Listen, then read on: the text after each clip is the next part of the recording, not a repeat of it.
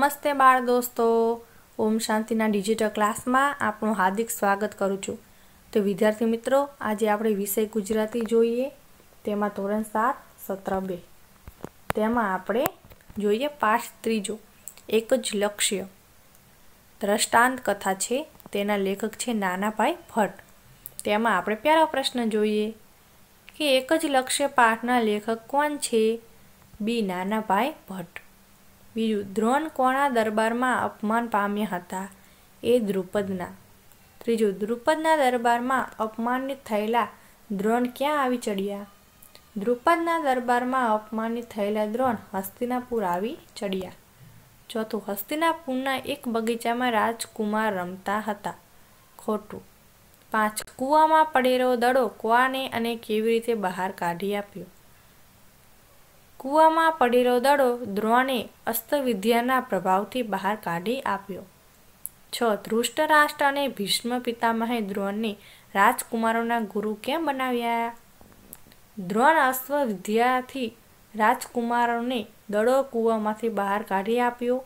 આ વાત કુમારે ધૃતરાષ્ટ્ર અને ભીષ્મ પિતામહને જણાવી. એટલે તે બંને વિચાર કરીને રાજકુમારોના ગુરુ દ્રોણને બનાવ્યા. સાત મહાભારત કાળમાં ગુરુની સેવા એ વિદ્યાર્થીનું આવશ્યક અંગ ગણાતું. સાચું. આઠ, ગુરુકુળમાં રહી વિદ્યાર્થીઓ કયા કયા કામો કરતા હતા? ગુરુકુળ, ગુરુકુળનો વિદ્યાર્થી નાના મોટા દરેક કામ કરતો. ગાયોને ચરાવી, વૃક્ષોને પાણી પાવું, ગુરુના હરિ માટે સમધી માંડી લાવવા આવા વિવિધ કાર્યો વિદ્યાર્થીઓ કરવામાં, કરવાના રહેતા. નવ પાંડવો તેમજ કૌરવોને કોની સેવાની તાલીમ મળી?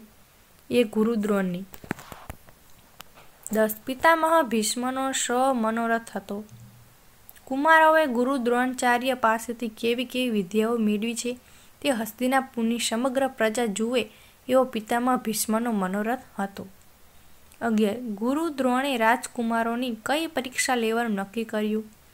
ગુરુ દ્રોણે રાજકુમારોની ધનુષ વિદ્યાની પરીક્ષા લેવાનું નક્કી કર્યું.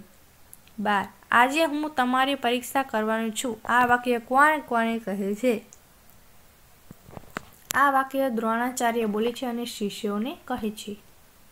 તેર. ગુરુ દ્રોણે રાજકુમારને પરીક્ષા માટે ઝાડ પર લાલ રંગનું બનાવટી પક્ષી ગોઠવ્યું હતું.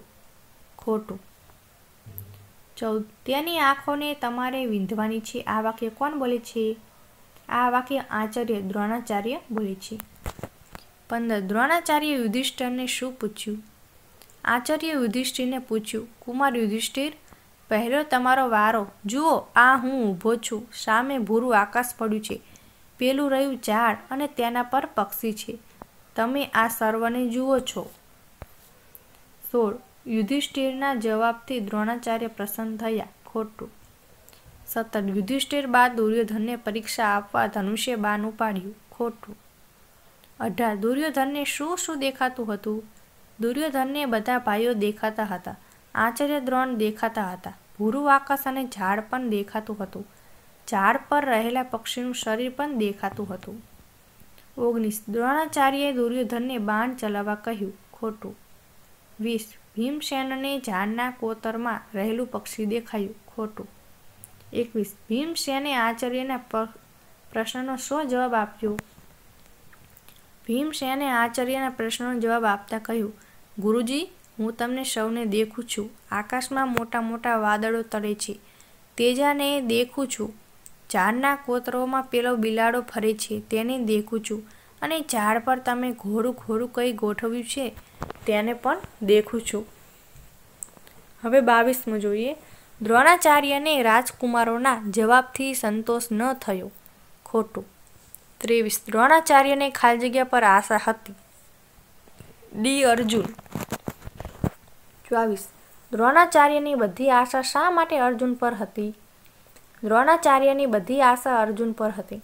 કારણ કે દ્રોણાચાર્ય જ્યારે રાજકુમારોને વિદ્યા શીખવતા હતા, ત્યારે તેમણે જોયું હતું કે અર્જુન સિવાય બીજા રાજકુમારોને ધનુ વિદ્યા પરણાવે શીખવી જ પડે છે.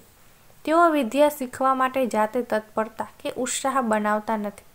જ્યારે અર્જુન વિદ્યાનો ભૂખ્યો થઈને એટલે કે વિદ્યા અભ્યાસ માટે ઉત્સાહ, તત્પરતા દેખાડી દ્રોણાચાર્ય પાસે જતો.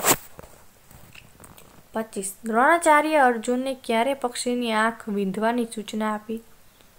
અર્જુને દ્રોણાચાર્યને જ્યારે કહ્યું કે હવે તો પક્ષીનું માથું એ નથી દેખતો. માત્ર બે રાતા તારા જેવી તેની આંખો ઝગમગે છે. તેને જ દેખું છું. અર્જુનના આ વિધાનો સાંભળી દ્રોણાચાર્ય અર્જુનને પક્ષીની આંખ વીંધવાની સૂચના આપી. છવ્વીસ, અર્જુનનું બાણ પક્ષીની પાંખમાં ચોંટ્યું. સાચું. સત્યાવીસ દ્રોણાચાર્ય કોને પોતાનો ખરો શિષ્ય કહ્યું? ડી અર્જુનને. અઠ્યાવીસ, દ્રોણાચાર્યએ ખુશ થઈને નકુલને બાથમાં લીધો ખોટું.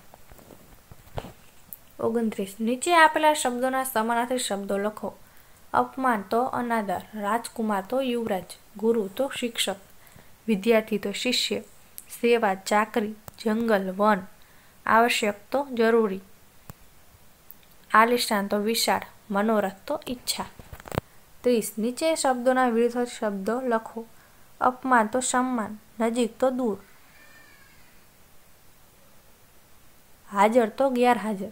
જવાબ તો સવાલ, નાના તો મોટા, આવશ્યક તો અનાવશ્યક, બહાર તો અંદર, પહેલો તો છેલ્લો, આકાશ તો ધરતી. હવે નીચે શબ્દોની જોડણી સુધારીને ફરીથી લખો. એકત્રીસમો પ્રશ્ન છે, તો વિદ્યાર્થી મિત્રો, દર પાઠની જેમ દર કાવ્યની જેમ આપણે આ જોડણી નોટબુકમાં લખીને સુધારીને ફરીથી તમે લખશો, જેથી કરી રસોઈ ડી ગઈ જે તે સુધરતું હોય તમને ખબર પડે, તો આ પ્રશ્નનો જવાબ આપણે નોટબુકમાં લખીને તૈયાર કરીશું.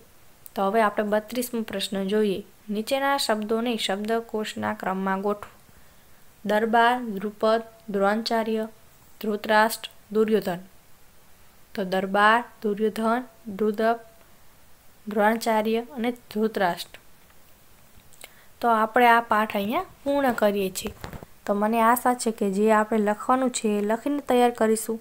બાકીનું લખેલું છે આપણે તૈયાર કરીશું. તો આ પાઠ આપણે અહીંયા પૂર્ણ કરીએ છીએ. આભાર.